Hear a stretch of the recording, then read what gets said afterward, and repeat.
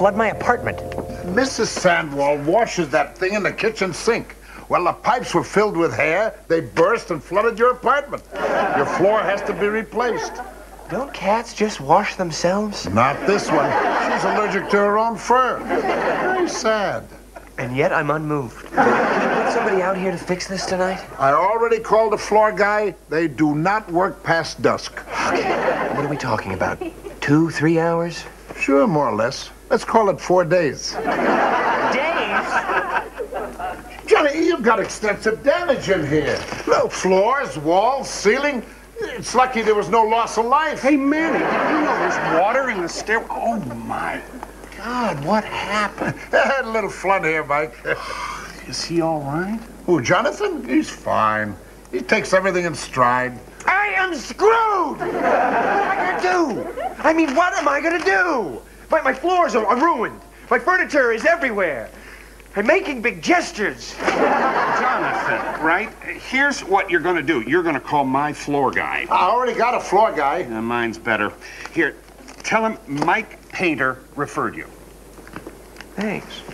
Is there anything I can do for you right now? We'll have to fax these pages to my agent by 6 p.m. We have a fax machine upstairs. Anything else? I have to pee.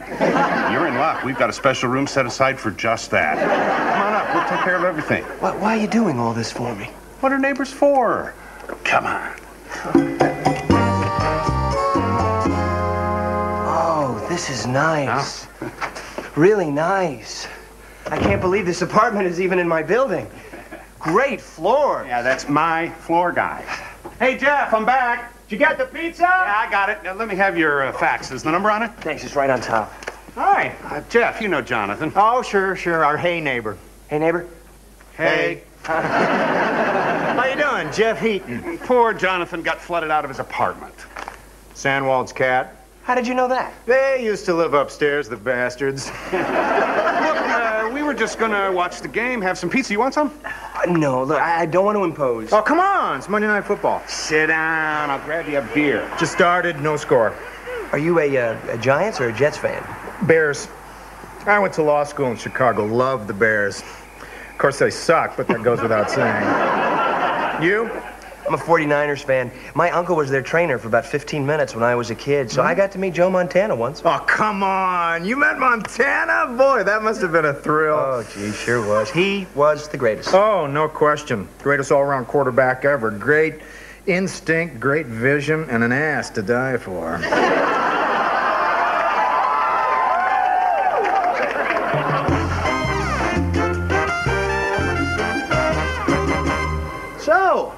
you slept in the homosexual apartment. Yes, Sammy, and we ate homosexual pizza and we watched homosexual football. They're great guys. Mike is an actor. He's in Leonard Nimoy's Hamlet production. These are the same guys that invited you to the gay games in the elevator a couple years ago, right? Oh, yeah, yeah, same guys. They thought you were gay, didn't they? I don't know, maybe, yeah. Did you tell them that you weren't gay last night? Uh, no, no, it, it didn't come up. I mean, who cares? What, what for? Were you wearing that belt? Yes. They think you're gay. Okay. Truth is, you could be gay. Anybody could be gay. No, Alexander Haig could not be gay. Alexander Haig could be gay. I'm picturing Alexander Haig naked with another man right now. I gotta tell you, he seems pretty gay. So, what time are you going to Janine's for dinner tonight? I'm not going. What? But Matt's making that really awful chicken, and they wanted to introduce us to that really neat paleontologist they know. Hey, we know enough really neat paleontologists. But Janine's gonna show him that dinosaur bone, you know, the one she found in the park? You love that dinosaur crap. Gotta pass. Trudy got a big hot tub we're gonna try out tonight. What are you talking about? She got a 24-hour free trial on a big old hot tub. Where are you gonna put a hot tub? It's right there in the living room. You should see it. It's huge. Where'd you get it? Some dealer. It's just for a day, then we give it back. It's great.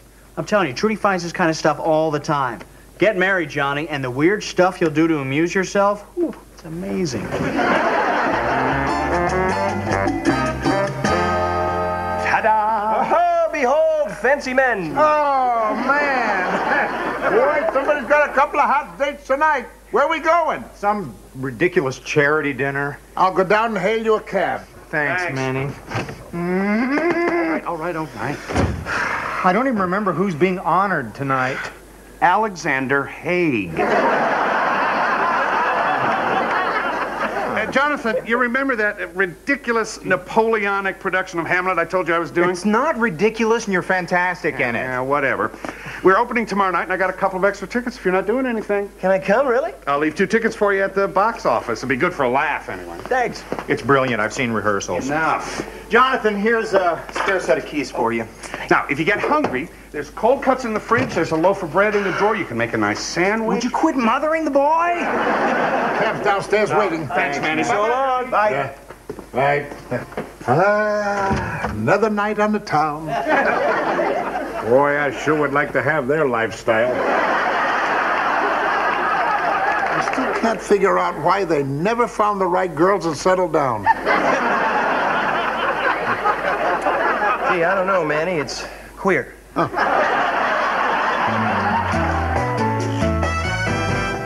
you're sure Janine's bone isn't from a dinosaur? Uh, no. Sorry, that was uh, definitely a cat bone. Yeah, But it is pretty old, uh, 20, 25 years maybe. So it's not from the Pleistocene era. No, no, the uh, disco era. Where did you find that? Right next to the merry-go-round. You know, I can't go on those things. I get dizzy very easily. That's why I got this scar right here. When I was eight, I spun myself around about 30 times, got dizzy, fell in a sprinkler, and then threw up. so, Ross, how about you? Uh, Any good scars? Well, yes, but mine are emotional, so you can't actually see them. oh, yeah. no, wait, wait. No, I do have a scar. It's on my back. I was, uh, hmm, I was attacked by the weirdest kid in school. Stabbed? Mm-mm, bitten. Yeah, it was third grade. Andy Grenier was his name. Whatever happened to Andy? Andy Grenier? I will tell you what happened to Andy Grenier. He moved to the east side and he bit me. Nuh-uh. He bit me right on the shoulder. What, what was with that guy? I, I think that was just his way of saying, I'm biting you now. That's the kind of stuff you should be writing about, Johnny. Not that your usual stuff isn't great. Last year you wrote a thing in Esquire, The Jock's Guide to Shakespeare. Wait a minute. You, you wrote that? I read that at the dentist. I thought that was hilarious. Yeah, I was blotto on nitrous oxide at the time, but. No, but I took it home, read it again at breakfast, and I have to say, just as good on cornflakes. So, Johnny, I really, really did like that article. I'm not kidding. The Jock's Guide to Shakespeare, yeah. Thank you. Hey, have you heard about this Hamlet they're doing down at the Cherry Lane? Well, oh, the one with Leonard Nimoy. Yeah. Yeah, it's supposed to be great. A buddy of mine auditioned. Oh, yeah? Did he get in? Joey? Yeah, he still hasn't heard, but since it opens tomorrow, he's not holding out too much hope. Do you want to go see it? Uh, my neighbor's playing Polonius, so I was going to go, and uh, I have this extra ticket. Leonard Nimoy's Hamlet. Well, that, uh, uh, yeah, that sounds like fun. Okay. Great. That's really nice of you to ask. Thanks. hey, cool belt, by the way.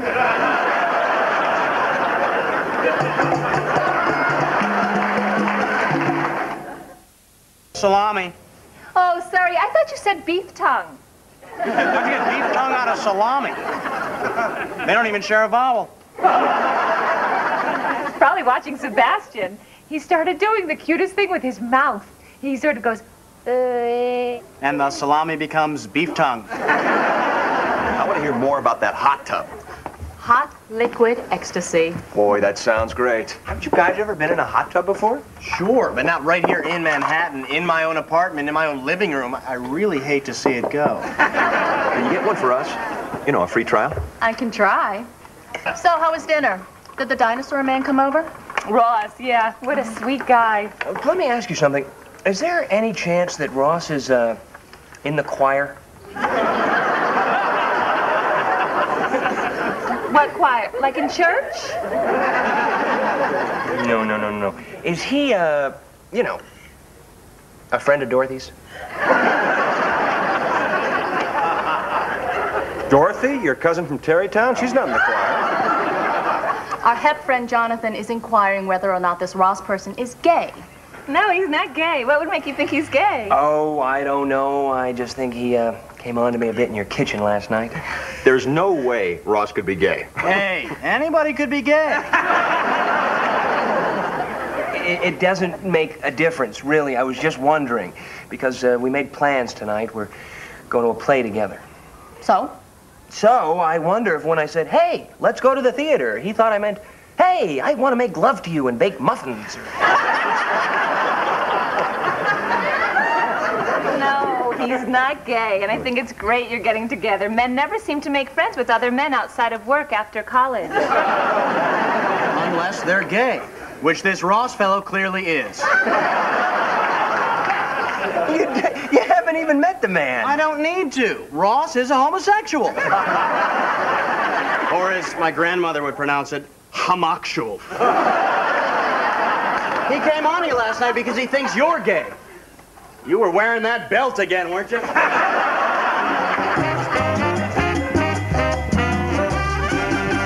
Hey. Hey.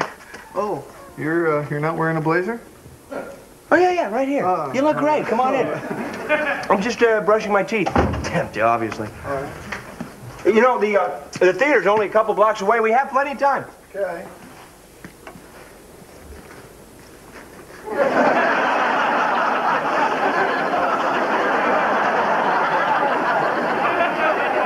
Hey, cabinet there's a fridge. Uh, help yourself. There are drinks inside if you're thirsty. Yeah, all right.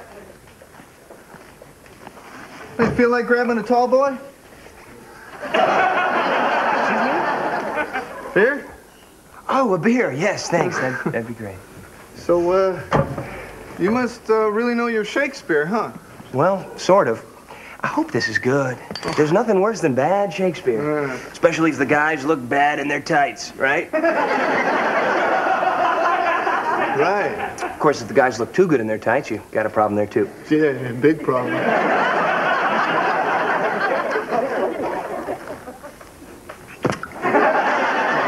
the way you were drinking that beer, you looked exactly like my son with his bottle.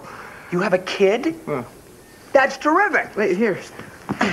Yeah, this is my uh, my son Ben. Oh. Yeah, he's with his mother right now and his um, Uncle Susan. Ben's mother's a lesbian, so. well, I guess there are a lot of lesbian mothers and, and gay fathers. Uh, oh, you have a kid? No, no, I just haven't found the right person yet. Uh, well, you know what? That that really is the only thing that matters. Hey.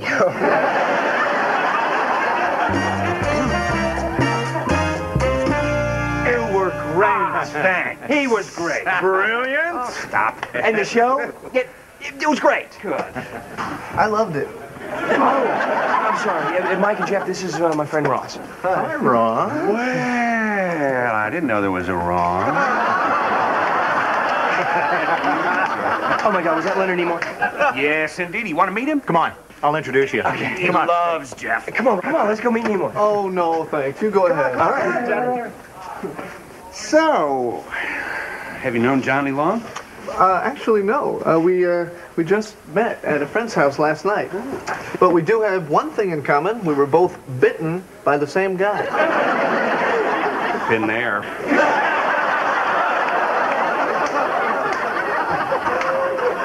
I'm not convinced that this whole uh, Napoleonic Navy bit works, but uh, by this point I have lost all perspective.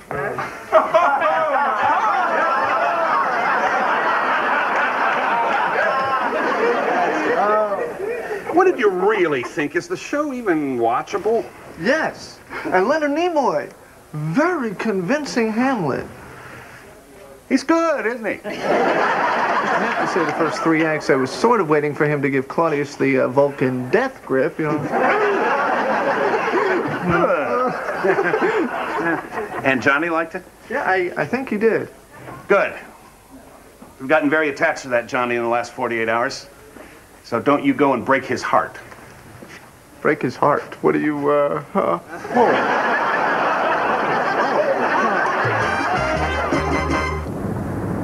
I like you very much. I, I like you too.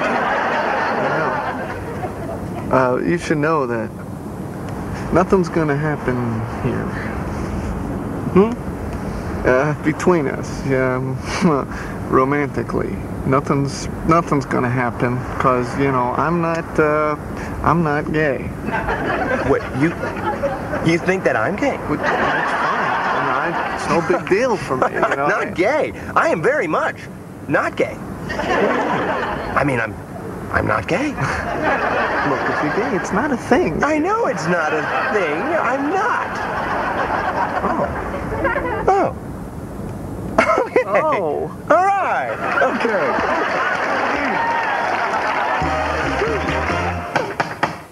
Come on in. Hey! What the hell is this? It's a big old hot tub. Isn't it fantastic? Trudy got them the 24-hour free trial. Come on in, John. Water's fine. Hamlet. Oh, it was great. So, is he gay? Hamlet? Ross. Oh, Ross. No, no, he's not gay. You sure? Definitely not gay. Oh, come on in, Johnny. I don't feel like it. What's the matter? Just a little tense. Oh, well, then you'll want to steer clear of the hot tub.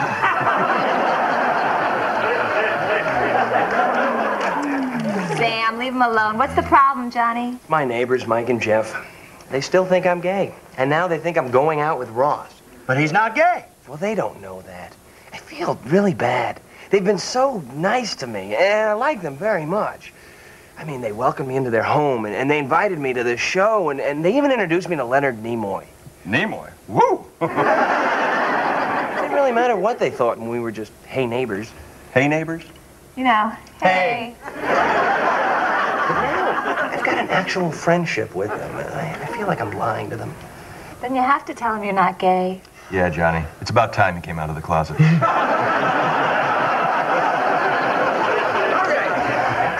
luck!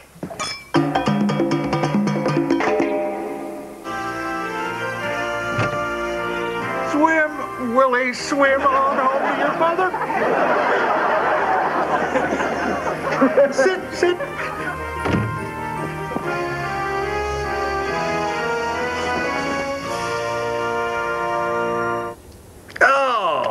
What a piece of crap.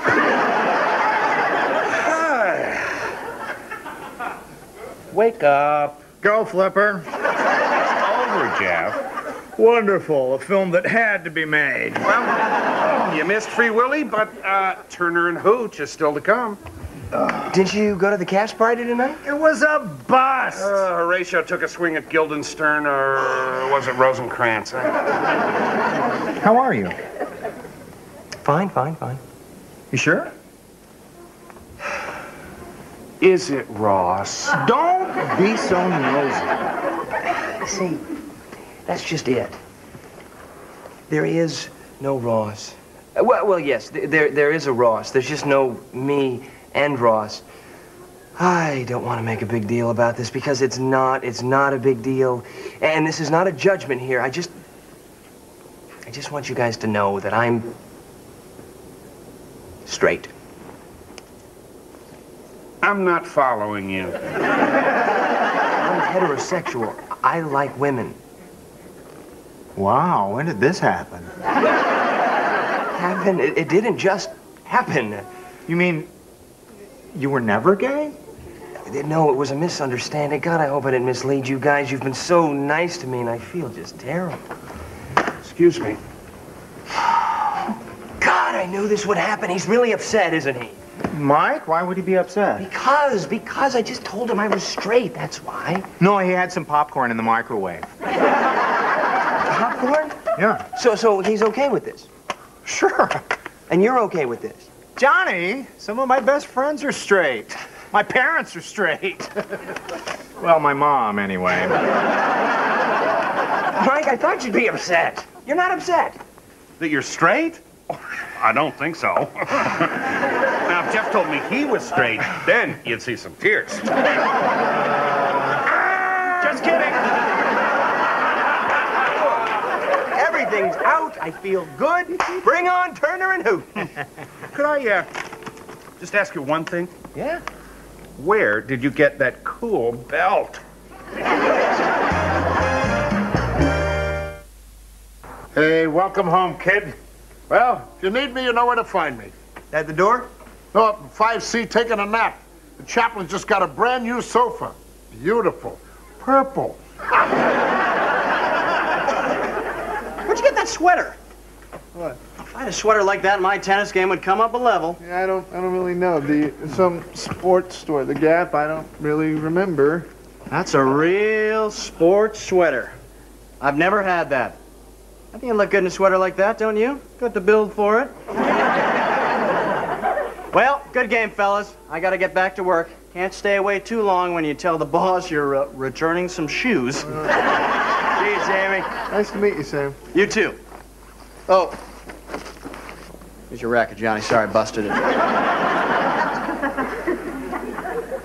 Great sweater. Ross, man. Uh, Yeah. So is he. Yeah.